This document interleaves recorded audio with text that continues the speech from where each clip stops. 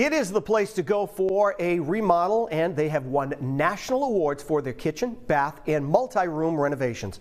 Joining us today to help us through this design process is Erica Pearson with Rhode Island Kitchen and Bath Design Build. Thanks so much for coming in. Thanks for having me, Will. Look, uh, we, we were just talking a little while ago, and I was saying, you know, you've been busy because Mm-hmm. a lot of people have been, they've been home, you know, even though the pandemic's over, they were kind of sitting around looking at their, their kitchen, their bath, and going, oh, it's kind of a dump. We need to do something, right? Right, right, They were ready to rip it out and start over. Yeah, so, so talk about the, the uh, home remodel and kind of where we even start with that.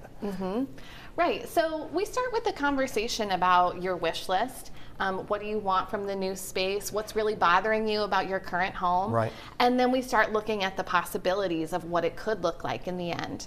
Um, so we'll do computer renderings to help you kind of visualize the space, and that really helps a lot. All right, and now you've brought some some samples here. Mm-hmm. Talk about uh, the the samples that you that you brought here. Yeah. And I know, look, I mean, technology has evolved. Uh, different type of products that you use have evolved, um, Right. and things that you may see that you know you didn't think you could afford.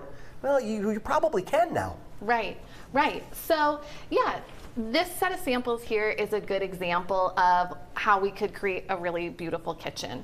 Um, we do a lot of mixed finishes with the cabinetry, so maybe like an oak finish on the island and then a more classic like white paint finish on the perimeter. Right. Um, it can be a little more dynamic to have a couple different cabinet finishes.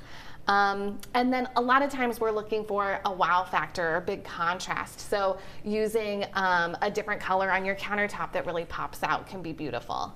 Um, this is a good example of a honed countertop. So instead of it being shiny and bright, it can be a little more subtle and luxurious Right. um, if it's matte. Um, have you seen uh, over the past couple of years people taking, you know, being a little more risky when it comes to the design or the types of products that they use, or even even the colors that they use that you probably, you know, people before may never never have even thought of using? Right, yeah. I do think with the internet and people being able to see a lot of trends online, Right. they are willing to be a little more daring um, and try something out, um, you know, like a bold color on a cabinet um, that's more special to them rather than, you know, something that's cookie cutter. Right. Um, also, I would imagine that if somebody has this vision coming to you folks, you can kind of really map it out, and that's kind of all of your your design your design process that you go through. And this changes along the way, I'm sure, as well. Absolutely, yeah. I think between the the renderings that we do on the computer and then looking at the finishes together in person, Right. we're able to help you really visualize the space and make sure you're going to love it before construction ever begins. Yep. And uh, now I know tomorrow there's going to be a seminar as well. You want to tell us about that? That's right. So tomorrow morning we're going to have a seminar at 10 a.m. in the showroom, and we're going to go over kitchen and bath design trends. So all the fun stuff, all the finishes and the cool features that you might want to put in your house, we're just going to give you an overview. Have you been seeing that people are doing like what is the number one thing they're doing? Is it is it kitchens or is it their bathroom or kind of are they doing them at the same time? Yeah, we have a lot of projects where people want to tackle it all at once. Right. You know, just kind of That's rip a off the band-aid. yes, It's a lot.